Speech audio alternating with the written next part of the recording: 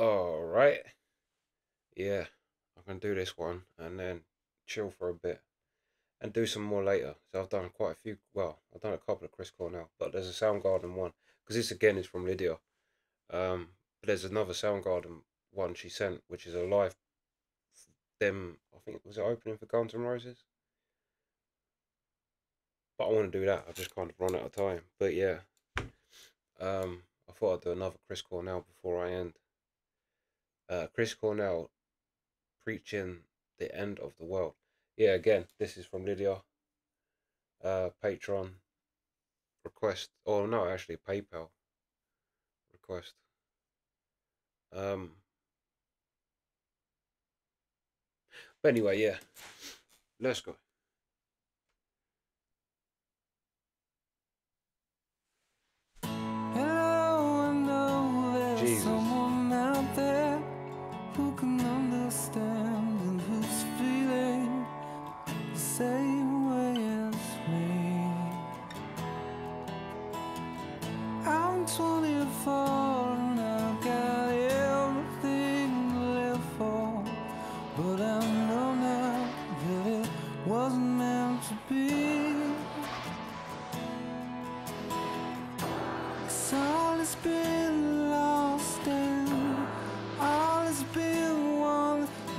And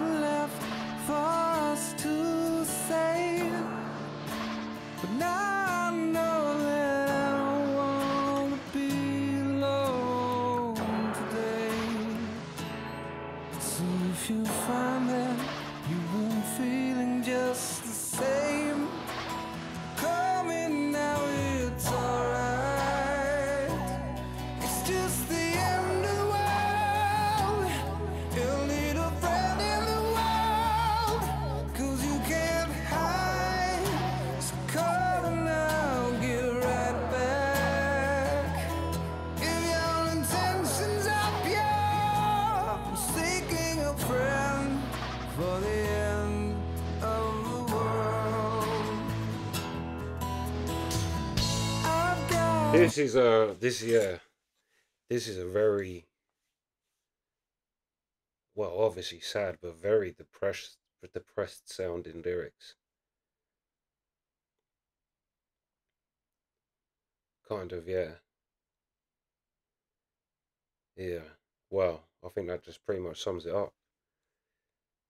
Uh, maybe you do tend to, or yeah, you do tend to overlook into his depressive lyrics because of what what happened to him ultimately in the end. But yeah,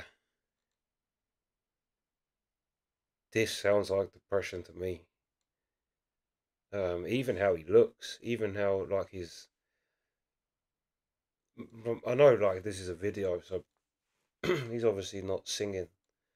Um, but even how he's looking, it doesn't like there's. I mean, there is always a kind of darkness to the, how he looks, but it seems a more vulnerable look than say like when you well when you see him perform other stuff. Is he has a very intense, almost scary look in his eyes of how intense he is into what he's doing. But with this, it's like it seems yeah definitely a very vulnerable. Like a yeah, an open track. Like when you listen to Lennon's um, Plastic Yoko Ono band, it's got that kind of vibe to it where you're like, holy shit, this is uh, um, a very personal. I suppose that's the thing. But yeah, let's go.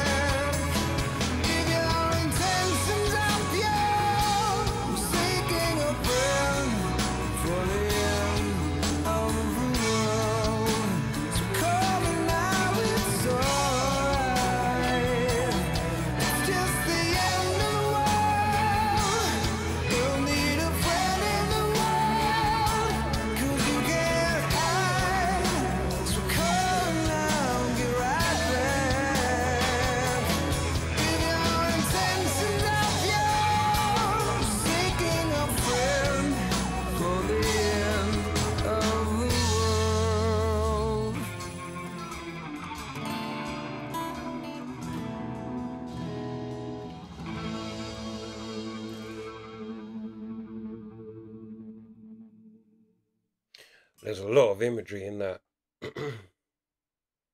I'm guessing that was this is a track. In fact, I'm gonna look it up. It's more about nuclear. Um,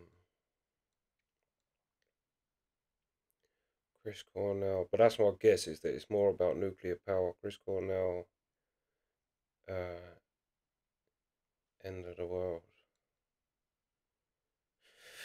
Um, end of the world meaning. Because who wants to be on their own while the world is ending?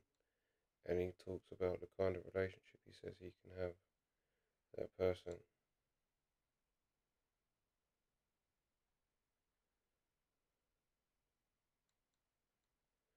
Hold on. Literally, they just took the meaning.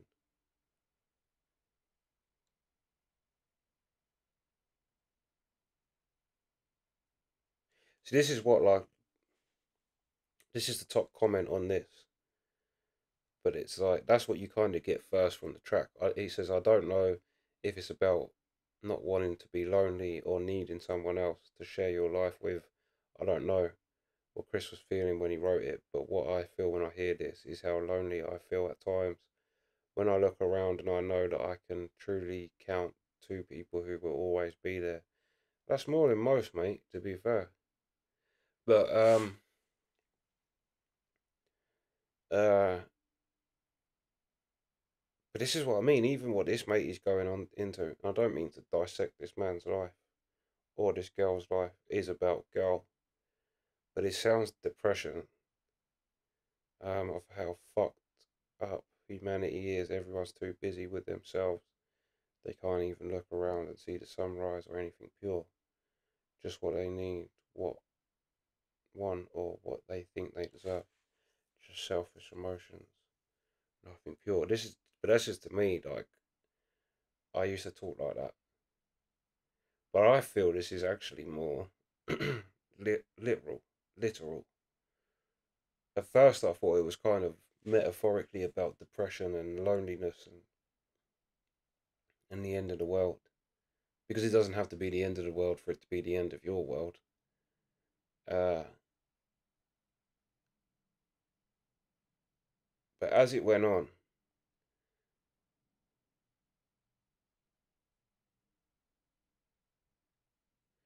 because like with this bit, yeah, there will be no commitment and no confessions and no little secrets to keep, no little children or houses with roses, just the end of the world and me.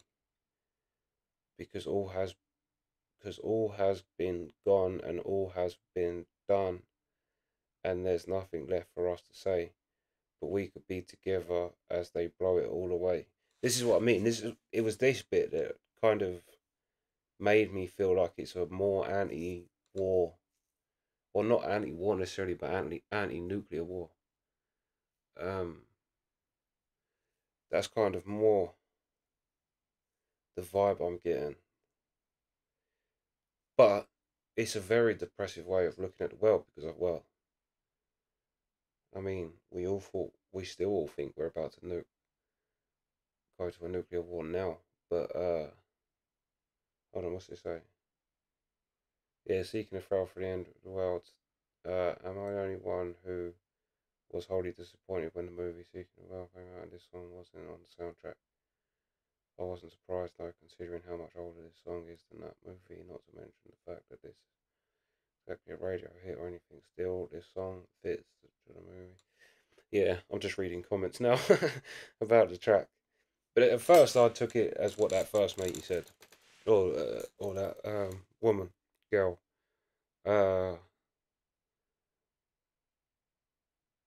at first, I thought depression, but I actually do feel like this was actually more. Um, not even really against it. It's kind of accepting it because it's gonna happen at some point.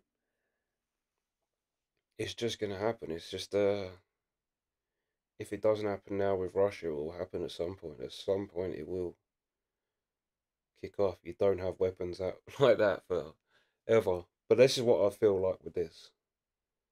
It feels more like an actual nuclear attack because as well in the video, from the images in the video where they were showing like um bare trees and deserts, um, But then it could also, mm, no, not so much because they said blow it all away. I was going to say it could be a, a, global warming type track, but not with the line blow. Um, we could be together as they blow it all away. Uh, yeah. So I'd say that it's more of um, not necessarily an anti-war, but it's a realization of war. Someone said this when I reacted to some matey talking about war and blaming war on the gun companies that they said go and listen to Beyond the Wheel. Get or like because I was like, what's he talking about? That's not why people fight wars because there's gun companies. It's a ridiculous thing to say. People have fought wars. Everything on the planet fights wars. Lions, like humans, are one of the few things that actually die of old age as a common way of dying. It's like most things have a very vicious, brutal end to their life. Um, and then someone said, go and listen to Beyond the Wheel again because it basically said the same thing as the mateys. I was thinking, does it? And I went back through and it, it doesn't. It didn't really say what anything different to what I was saying that because this song is is I mean obviously no one wants war. Everyone's anti-war but the fact is is that there's an acceptance that you have to have that that is what people do. It's what the world is from every level of it. Um and I thought when I went and did listen to Beyond the Wheels lyrics again I thought I don't think it said the same thing as what that mate he said that I disagreed with. Um and this is kind of the same thing is we could be together as they blow it all away, and we can share in every moment as it breaks. Call me now, it's alright, it's just the end of the world. And that's kind of how it is, it's just the end of the world. It's like, what are you going to do? Um, yeah, I would say that it's about nuclear war.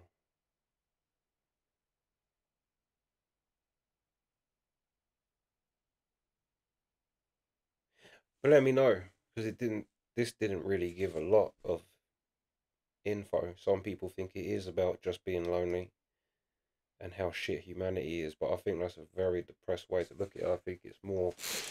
I mean, there is an element of that, but there is an element of yeah, everything being gone. There's like because for humanity being awful doesn't have to do with there's no roads or no fucking children or whatever. Um,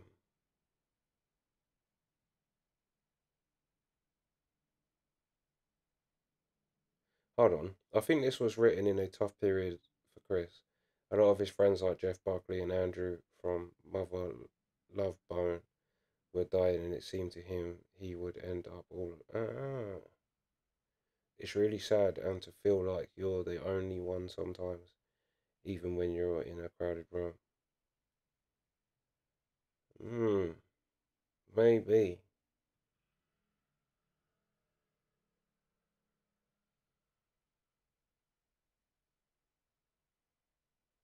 Anyway, yeah, let me know because I know like you guys have like a probably a better understanding than most of these people commenting. To be honest. Um, but yeah, let me know. Let me know what this song is actually wrote at and it's called because I think nuclear war. But yeah, let me know. Um, that's the reaction. Sweet.